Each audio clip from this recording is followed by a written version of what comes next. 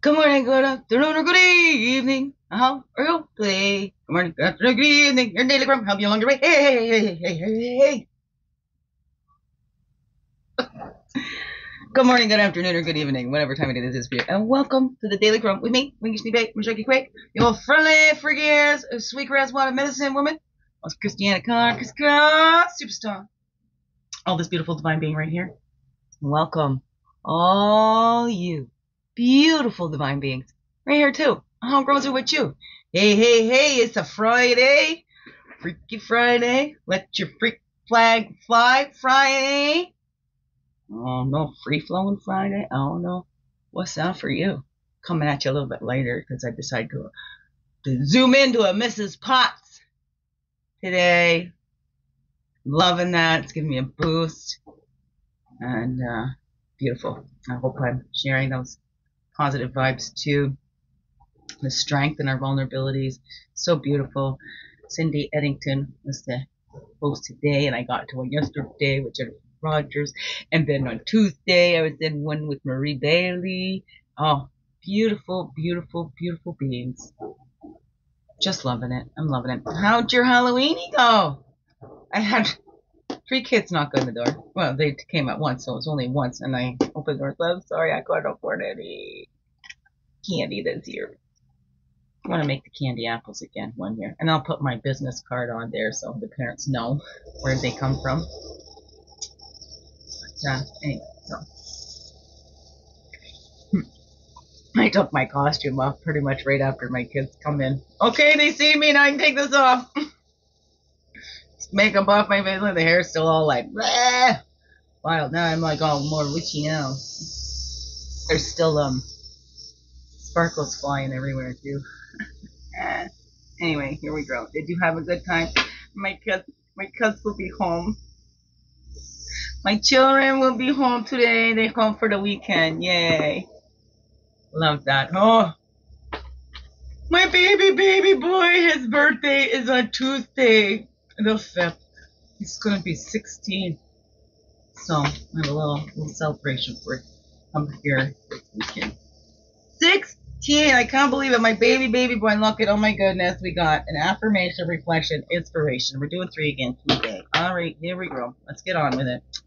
Self compassion is simply giving the same kindness to ourselves that we would give to others. Christopher Germer. Reach out to a loved one you trust for, for advice. Opinions are like assholes. Everybody's got one.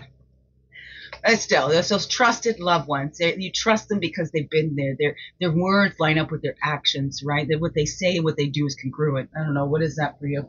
That's a treat. That's that self-expression, right? How do I come across? Like I feel like this is this is you know I want to show that I'm all wild, but yet I'm all like, mm, okay. I don't know. What is that for you? Right, maybe asking them, does my self-expression match who I truly am? Like, as you, you know, how is it that you see me? What do you think is the good qualities of me? Sometimes we have a hard time seeing that in ourselves. Sometimes we just keep dogging on ourselves. Okay, what is the good in me? Okay, like right now, I'm just feeling like, wow. What do you see as a strength in me? Now, again, it's not it's not about what they think. This is to help to stimulate your own thoughts and in your inside and see what resonates with you. It's not to take them word for word okay, or anything like that, because it what matters the most important opinion of us that matters the most is ourselves, right? It's our own opinion of ourselves that matters most because we're the ones that got to keep looking at ourselves in the mirror. Can you look at yourself in the mirror? So those those things are inside job, and you know somebody can join us inside there, but we have to open up. They won't come in without without without us asking. Free will beings, we're free will beings, sir. You want to be miserable? Hey, you're free will to choose to do so. I don't know. What is that for you? You're giving that same kindness and compassion to yourself, or you blah, blah, blah, blah, right? Think about that. If you write that down, what would you say to a friend? What would you say to somebody you loved? What kind of advice would you give a loved one going through the same thing you're going through? I don't know. What is that for you? For one who finds joy within the self, rests satisfied within the self, and whose life is dedicated to self realization there remains nothing further for that person to accomplish. The Bhagavad Gita 3.17. How has your quality of life improved since you began your self-care journey? reflect and celebrate your progress. That's a 61, which would be a 7, self expression and balancing that out. Oh no, what is that? Do you find joy in yourself? Hmm, are you satisfied with yourself? Right? Again, we're going to be seeking that outside approval and all that outside of us if we're not first begin within and accept ourselves as we are. Right? And we love it. We love it into changing. I don't know. What is that for you? Right? Celebrate that progress. How has your quality of life improved since you began watching the Daily Crumb? Ah! Have you been doing that work since you've actually been acknowledging yourself and that little inside and given that care? Right? How, how, you know, recognizing your own needs and how you can fulfill them for yourselves, or maybe you need to ask for help and reach out because I can't do that for myself, right?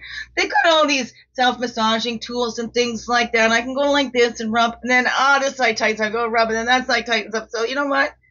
For myself, self-massage does not work for me. So I would need help with that massage. Okay? Thank you very much. I can't afford it. Anybody want to come offer them for free? Thank you.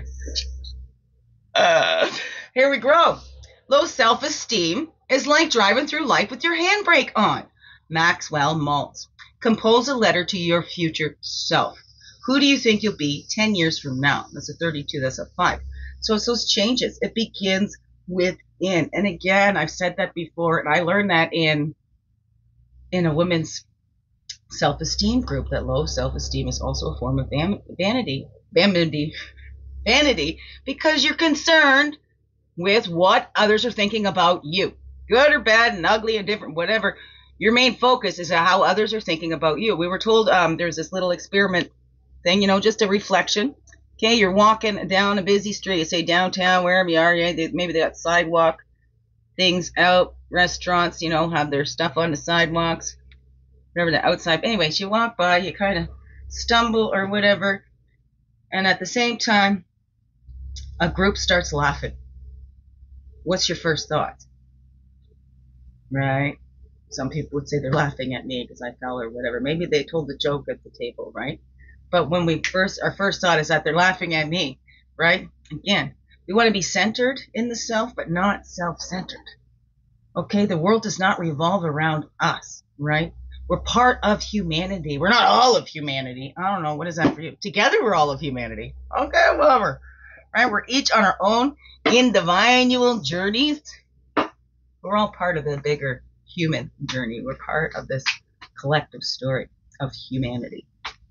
Yes, you are. Okay, don't argue with me. I tell you. Okay. yeah, maybe you're an alien being, but you came down to join humanity and be human here, now, okay? This is what we're learning. Learning to be human here, now, okay? So let's retreat if we think there's anything other than that. Learn just to be the best human you could be, right? Spiritual beings having a human experience, learning what it is, those feelings, those physicality and stuff. In spirit, we don't have that physicality. I don't know. What is that for you? Well, I've never been there. Don't know till we get there. That's what I believe. So that's why we get to choose what we believe. To each their own. We'll find out when we get there. Now, won't we?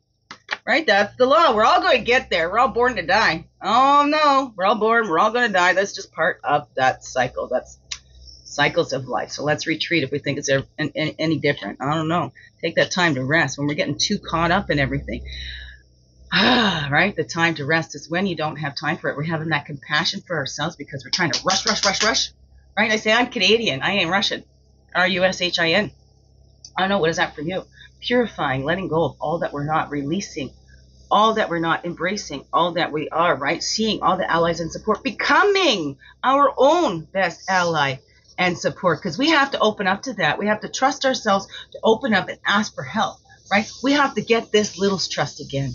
Get this little insight to trust these adults on the outside.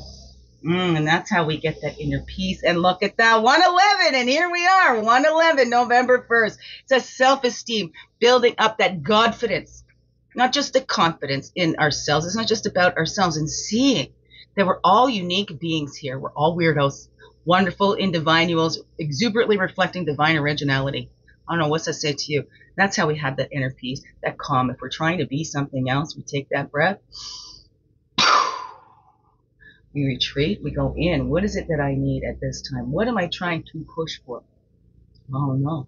What is that for you? If I'm being compassionate with myself as I would be with others, what would I say to a trusted friend or to, to a loving friend that might be in the same situation? How would I talk to them? Maybe I could do that for myself. I don't know. Look at that. And that self-esteem. I love Moose. Moose knows who Moose is, right? Moose is, it's, it's about connecting with the same sex too. The only time they kind of interact with the opposite sex is during that mating season and whatever, right? Moose knows, right? I love, I love that. I love saying that.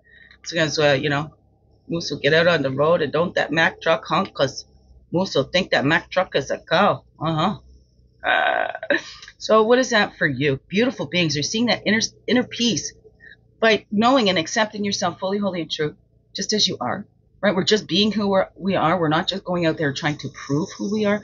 We're just being who we are. And we're loving ourselves and showing ourselves the same compassion that we would show all of our loved ones. All right, we're going over again. Here we are. It's at 11. Biggest heart hugs ever. Yes, thank you for being you and shining your light through in everything you do. Because you know what this world needs you, just to be you, holding only true. Don't let this world miss out on all that's you. I'm so glad you're here. 11 11. So glad you choose to stay every day.